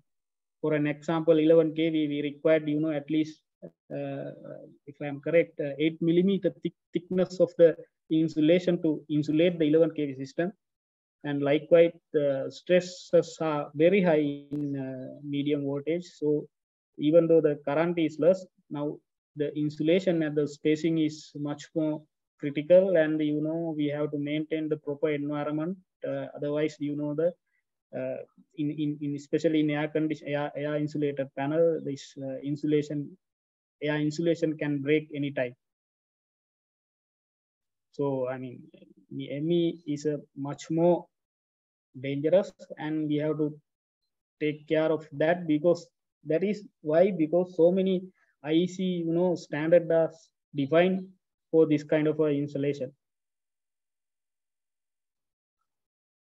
Okay, thank you. Next one, which type of switchgear being used in typical wind turbine station in Sri Lanka when LV generation is stepped up to 33 kV distribution level? Uh, sorry, uh, sorry, Mahesh, can you repeat? I didn't get you clearly. Which type of switchgear being used in typical wind turbine station in Sri Lanka when LV generation is stepped up to 33 kV distribution level? Okay. Uh, I think there are two types. I mean, uh, we can have the you know conventional switchgear in a separate uh, room, air conditioned, isolated, uh, control environment. Other now uh, with the new turbines which is coming into the market, uh, those are I mean the especially big in size. So these uh, wing towers we can place the you know compact gas insulated switchgear uh, in the you know turbine footing itself so i mean this is uh, mostly mostly because uh, the connected power is less like you know 3 3 megawatt 5 megawatt the max in a in a turbine so we can satisfy with the you know 630 amp 20k one second uh, switch gear so it's easily easily can gain with the you know uh, uh, uh small compact RMU. Okay, thank you. Next one. Uh, what does electrical lifetime of a circuit breaker like 30 times mean? Like 30 times? Mean. 30 times mean. What does electrical lifetime of a circuit breaker like 30 times mean? uh, I am not getting it clearly, but for for a circuit breaker, uh, there are uh, three types uh, defined as per the IEC. Uh, one is M0, M1, and M2. M2 is having you know 10,000 operations. Mostly you know circuit breakers coming in the you know standard switch gear, switch gear, GIS and AIS. It's having the you know 10,000 operations uh, both mechanical and electrical. Uh, and uh, the circuit breakers coming in the compact kind of a switch gear, which is RMU, it's having the, you know, 20,000, sorry, two 2,000 operations. And some, you know, earth switch, sometimes a disconnector, which is rarely operate, which is coming together with the sometimes the circuit breaker. Uh, it's having sometimes the uh, thousand operations. I, am not quite sure is, is this what what the answer is uh, required, but uh, the 30 min is not clear to me, to be frank. Okay, thank you. Uh, next question. What is the earth resistance value for MV switchgear panels? Uh, earth resistance value for MV switchgear panel, right? Okay. Uh, not for the panel, in fact, uh, earth resistance to be, you know, uh, satisfied in the earthing systems right? Uh, earthing is a, a quite, you know, uh, uh, important topics. We have to do it very, I mean, carefully. Uh, in a, in a substations because certain things like you know step voltage and you know uh, touch voltage uh, and during the fault has to be you know carefully considered so in a, in a typical substations uh, the earth resistance typical small substation like substation in the sense having you know three number of four, four number of medium voltage panel and one transformer and lot of i mean the low voltage uh, switch gears. So normally uh, it's recommended to reach you know one ohm in the uh, earth resistance and uh, in that case there are few components to be earthed to the system. Like you know uh, in the transformer there's a body earthing. In the switchgear panel there's again a body earthing. In the transformer there's a neutral earthing. If there's a surge arresters uh, again that it has to be earthed. So then i mean the to minimize the lead length of the earthing cable so we have to manage these earthings and uh, cable length has to be minimized. And uh, we can connect this, them to the you know there's a, a grounding mesh of the earth conductors. Or sometimes in a building uh, the earthing is through the you know uh, steel structure. And uh, maybe uh, uh, they are using uh, sometimes electrodes separate electrodes for the MV systems but my general you know my experience is if the you know earth resistance of the system is I mean nearly one ohm so we can you know connect these uh, uh, uh, the earthing both body earthing neutral earthing we cannot loop them but we can connect them directly to the earth mesh and it is much more you know safer. That's what my what my idea and experience next question is it the ring system that would supply power to all of our general hospitals? Uh, that I'm not quite sure because this has been managed by the uh, CEB. Uh, I don't think because uh, as we experienced few few few days back in some uh, some you know power during the utility power cuts, some of the hospitals are you know uh, power up and the you know adjoining uh, houses are in a blackout. But i don't think that all the hospitals are you know uh, working in a ring substation because in in colombo cities for an example if you take the you know some building like you know you, you say the havelock city it has been powered through the you know primary substation which may be powered to the you know uh, uh, some other uh, nearest hospital. But this is not the same uh, same uh, primary substation which power to the sometimes you know general hospital. I think uh, i'm not quite sure on that. Uh, mostly maybe not. Thank you. Uh, next one. Is uh, is ud level for switching surge while other term is for lighting surge mm. can you get it? Yeah okay. Uh, lightning lightning uh, ud is for the you know uh, uh, uh peak uh, sorry ud is for the power frequency. Up is for the peak value. Peak value coming in two scenarios.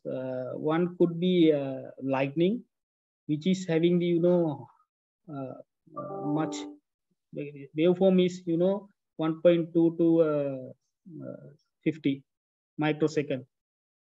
Because because the peak is coming within 1.2 microseconds in the uh, lightning surge which is much more uh, uh, uh, stress waveform compared to the switching waveform. Switching waveform is uh, the peak is coming within i think uh, 12 microseconds so the biggest damage done by, done by the lightning surges so so the the, the equipment has been designed for this waveform.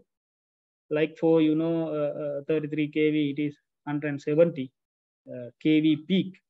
UD is uh, power frequency one. Power frequency is, you know, the maximum permissible withstandable voltage at power frequency. Power frequency in the sense it could be a even 50 hertz or lesser frequency.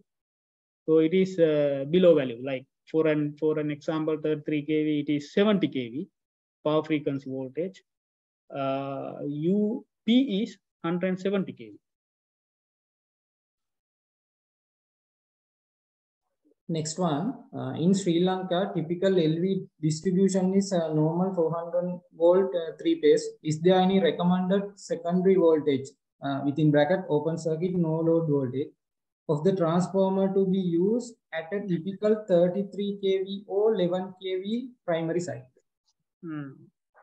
Correct. I mean, uh, generally we have to assume that you know the uh, system voltage uh, is you know uh, it's constant. Like uh, although the transformers coming with you know multiple tappings, uh, it is very you know very rare instant that we we change you know uh, primary tapping to some other tapping. Like you know we it's normally kept in the uh, zero tapping which is we assume it's mostly it's, it's correct. It's getting the you know uh, stable 33 kV supply mostly in Colombo, but when it's go to the when it's go to the you know outside Colombo scenario could be changed. But uh, right then if we select the you know transformer to be 33 kV to 400 at I mean 33 kV we get at the zero tapping. So 400 will be the uh, secondary side no no load voltage, right? So what what will happen with the loading? Now from from there this this transformer secondary to the main distribution panel, and when it goes to the load then maybe another another 50 to 60 meters. So at the load end we may not reach reaching the you know 400 volt at the load end.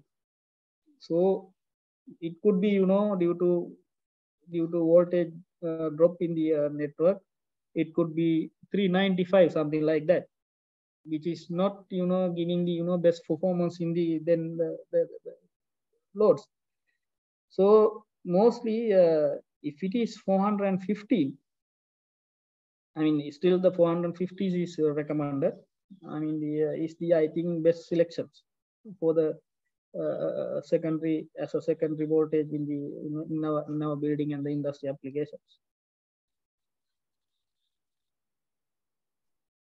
Okay, thank you. Next question. Approximately how much area can feed from 42 kVA transformer while considering normal distribution in, in Sri Lanka? 42 kVA transformer. Uh,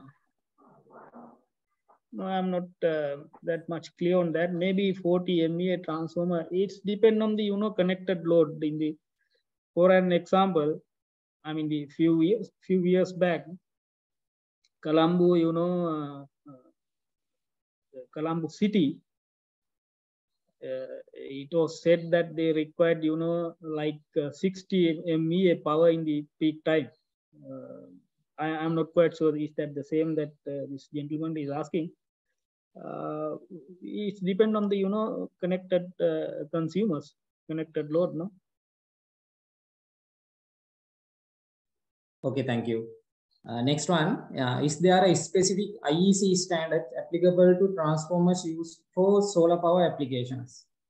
Uh, not a specific one, uh, uh, but there's a development because in, in solar system, the night time there's no generations, right? Then in night times, there will be a losses in the transformer so there's a special design uh, with the you know optimum material and iron and the no load losses has been reduced. So we call it that uh, high high efficient transformer. Uh, especially you know uh, design, especially you know uh, uh, providing for wind and solar. It's having a low loss compared to the you know standard transformers. Okay, thank you. Next one. What about some figure of losses at MV level? For instance, TF losses, TX losses uh, within brackets, bracket as percentage figures. Uh, I'm not, uh, can, can you repeat? Uh, yeah, yeah, sure, sure, sure, I will repeat. What about some figure of losses at MV level? For instance, uh, TF losses, TX losses. I think uh, that gentleman uh, expecting uh, as percentage values, percentage figures, TX, TF losses and TX losses. Uh, it's not, uh, I mean, what is the transformer and the, what is referred to TX or TF? I think transformer. Okay. Yes, yes, I think. Oh, okay, transformer is that you know uh, as per the as per the IEC, there's no specific you know uh, uh, uh, value given for the transformer losses. It's mostly the requirement as per the design of the transformer manufacturer, or and plus the cost depend on the customer requirement. So if the customer is asking uh, this much of uh, percentage mostly you know the transformer losses are uh, within 1% of the uh, full load it's like you know full load capacity. Like for an example, we'll take a thousand kilowatt transformer. is losses total losses copper and the you know uh, core losses will be you know less than one percent. Uh, like 10 10 10 watts right? Then uh, it's within that range range but if the you know uh, customer is asking okay uh, this has to be improved the efficiency has to be like you know 96 percent 90 uh, this this much 99.5 percent there could be a limitation from the uh, manufacturer side but you know it is uh, i mean the, the the certain things can be done like you know that we can improve the uh, content of copper to reduce the you know copper losses and you know special material like uh, to reduce the uh, losses and that can be done.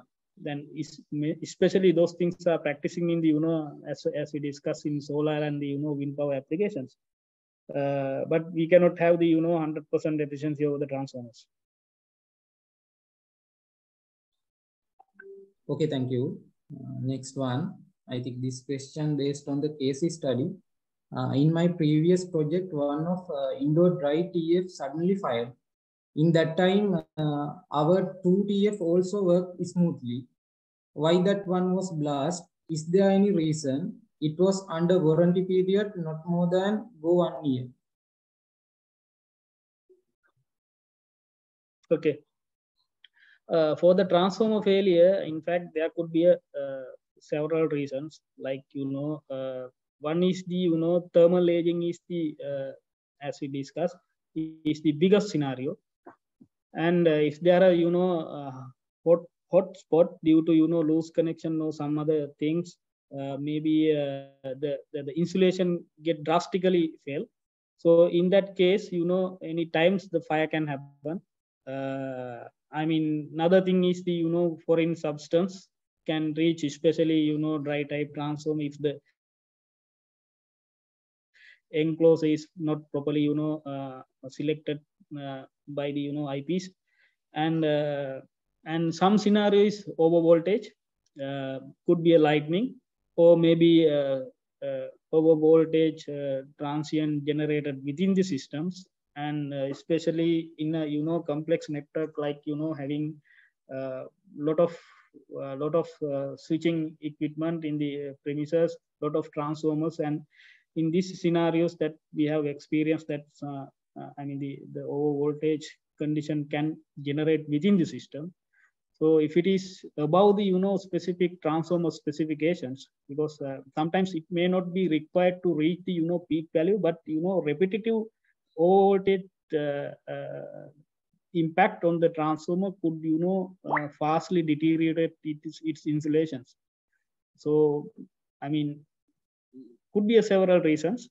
So if it is under warranty, then manufacturer must have uh, replaced but but we have to examine we have to examine whether you know it is a external issue or a, you know it's a issue of the you know the transform itself of the you know respective uh, uh, insulation or the you know the, the, the material. Sometimes uh, those things cannot be you know rather difficult to uh, identify which is the reason and which is what and those things. But generally there could be you know multiple reason as we as we discussed Okay, uh, next one. For the AIS MV panel, do we need a secondary insulation for the buses? If so, what would be the best material to use? Okay, uh, it, is the, you know, again, the customer requirement. Uh, it is not uh, the, the, the uh, requirement of the uh, specification because the requirement is for the limitation of the temperature rise right? This is the uh, requirement as per the IEC but you know as a secondary insulation uh, some of the uh, uh specification requested for for the uh, uh, next layer i mean the additional layer on the bus bar. Maybe it, it's giving some added advantage over the you know the polluted network if the you know environment is much more polluted than the normal operating condition. It could be you know added advantage uh, not, to have a, a failure. But it could be, you know, as per the manufacturers, this second layer could be one manufacturer could be used mica or some other can use the you know epoxy cast resin uh, and uh, this could be vary but but it both has to you know confirm the you know required temperature rises to be passed uh, even with without the you know uh, these uh, these things. I mean it's it's it's totally a customer requirement or the manufacturer manufacturer uh, attachment. Okay, thank you. Uh, next one, is it possible to connect a 400 volt standby generator to a MV system which powers loads which requires MV 11 kVA with a step up transformer in a grid power outage?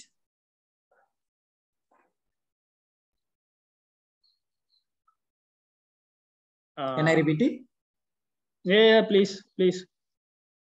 Is it is it possible to connect a 400 volt standby generator to a MV system uh, which hmm. powers loads which requires MV 11 kVA with a step-up transformer in a grid power outage? Okay, uh, in, in that case, we cannot uh, do any paralleling work with the utility if it is isolated.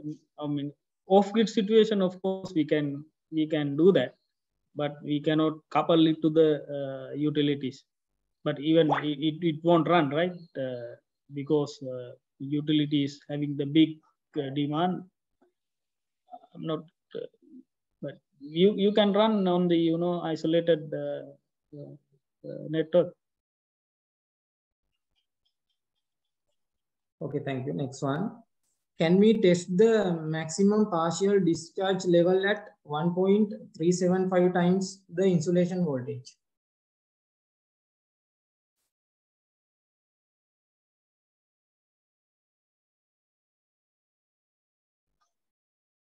Can we test? Can we test the max maximum partial discharge level at 1.375 times the insulation voltage?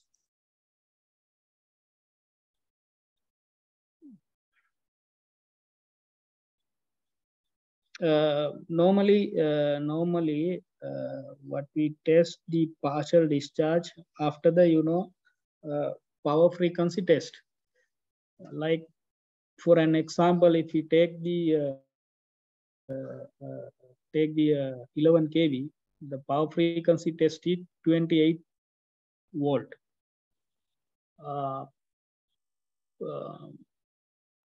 But but at the site we we because uh, this is uh, we we don't want to stress the switchgear in couple of time with the you know maximum voltage but uh, so IEC has recommended to do a do a power frequency test at the reduced voltage uh, like 80% when it's come to the 28 kV it's around 80% is uh, like uh, 22 something like that right? So then we can check the you know partial discharge but i'm uh, but it is i'm not quite sure whether it is how this number is coming 1.73 number. Okay, i'm referring next. to some other specification so uh, i'm i'm not quite sure sorry. I, not not sure. Okay I, I will go for a next question. Explain cap bank protection briefly. Okay.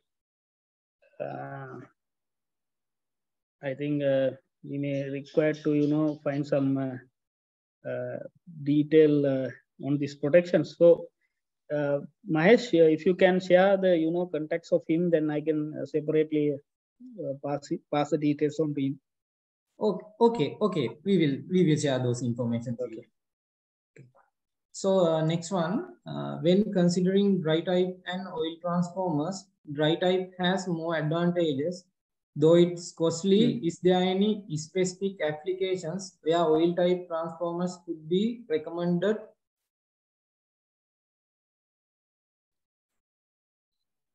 Did you get it? Yeah, yeah, yeah. okay.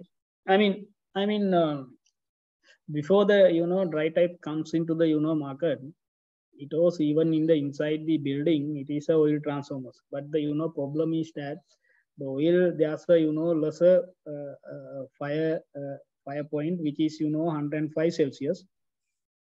But uh, you know it's it's we saw some you know even oil can be leak of the transformer anytime.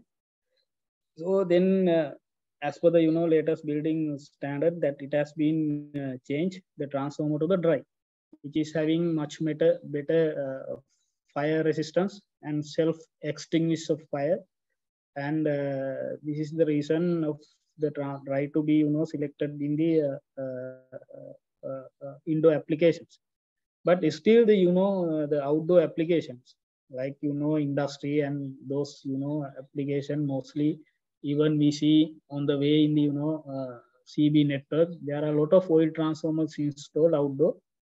Uh, even you know pole mounted uh, to power up the uh, systems.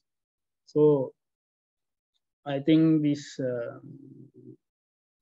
mostly due to the uh, new specifications and the you know understanding of the building it has been changed to uh, uh, dry otherwise you know there are still the outdoor distribution and the you know industrial distribution uh, is with the you know oil type transformers and power plant again the the medium power is it's oil there's no you know solution than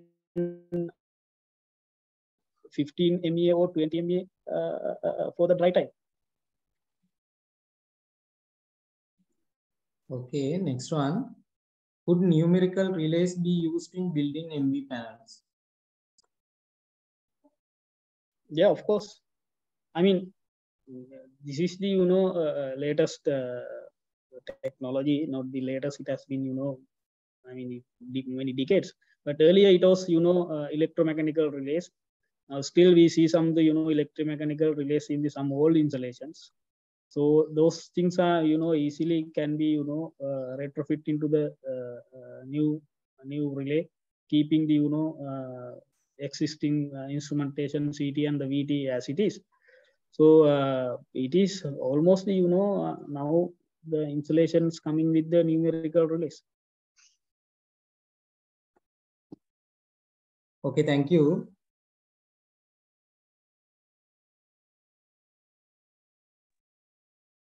Okay, thank you. Uh, I think now time's up. Uh, therefore, we cannot uh, go for any more questions. Uh, so I believe you were participated very informative and uh, important presentation.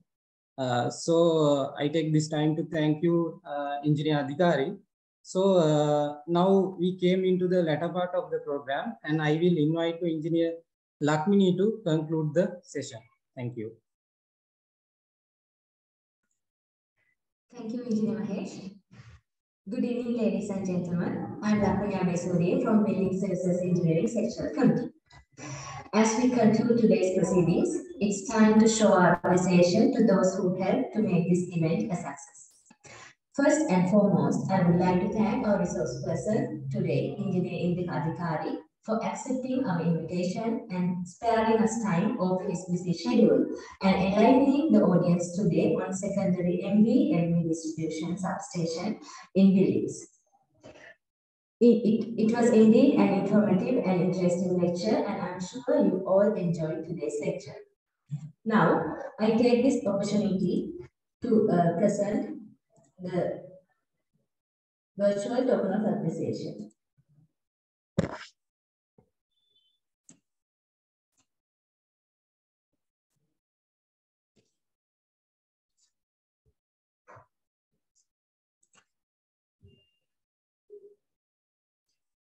Engineer Indika, please accept this virtual token.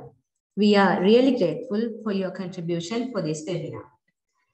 Next, I would like to thank everyone in the Building Services Engineering Sectional Committee who supported in organizing this event. Further, I shall extend our gratitude to the IESL technical staff. Without the assistance of them, this event would not be possible. Last but not least, our sincere gratitude to all of you for participating for today's webinar. We are looking forward to see you all at the next webinar. Wishing you a pleasant evening. Good night. Thank you very much.